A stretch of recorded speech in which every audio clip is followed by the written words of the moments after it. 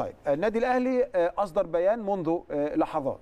قال فيه آه، الأهلي يدرس اتخاذ الإجراءات التي تحفظ حقوقه بعد تصريحات حكم مباراة القمة.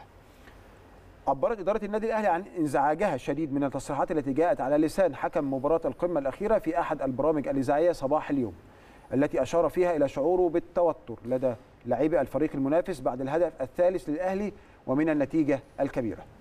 وأنه اضطر إلى التحدث مع مساعديه وأبلغهم أنهم في مرحلة الإدارة وأنه سهل جدا أي لاعب يعمل حاجة في حاجة وكرت في كرت وبالتالي لا يكون من وجهة نظره أنه قام باحتواء اللاعبين في ظل التوتر الذي أصابهم.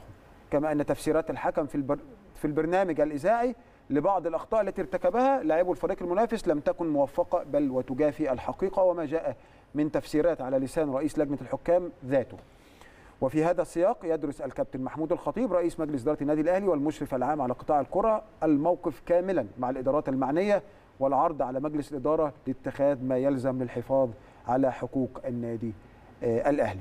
آه، ده كان بيان النادي الأهلي الذي صدر منذ قليل أو منذ لحظات والبيان بيفسر نفسه مش محتاج منا أي تعليق. طبعا النادي الأهلي ورئيس مجلس ادارته الكابتن محمود الخطيب بيعملوا ليلا نهار على الحفاظ على حقوق النادي وإن التصريحات دي اتخذت بمحمل الجد كما واضح أمام حضراتكم.